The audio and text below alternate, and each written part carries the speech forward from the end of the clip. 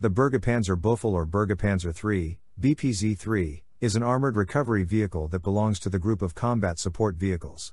It is a bilateral development of the German Bundeswehr and the Dutch Army based on the Leopard 2 main battle tank, which is one of the most advanced and widely used tanks in the world.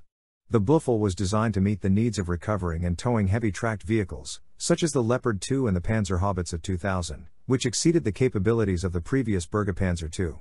The Buffel can perform various tasks, such as recovering and towing tracked vehicles up to military load class 60, MLC 60, which is equivalent to about 60 tons of weight. Securing tracked vehicles during water crossing by providing buoyancy and propulsion assistance.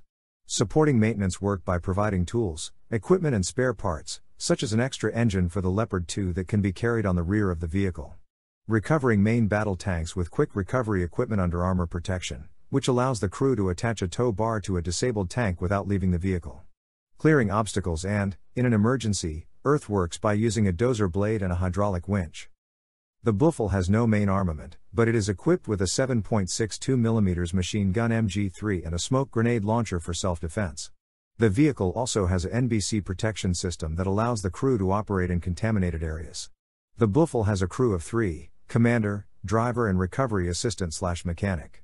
The vehicle is powered by a MTU 12 cylinder diesel engine that provides 1,500 horsepower and a top speed of 68 km per hour.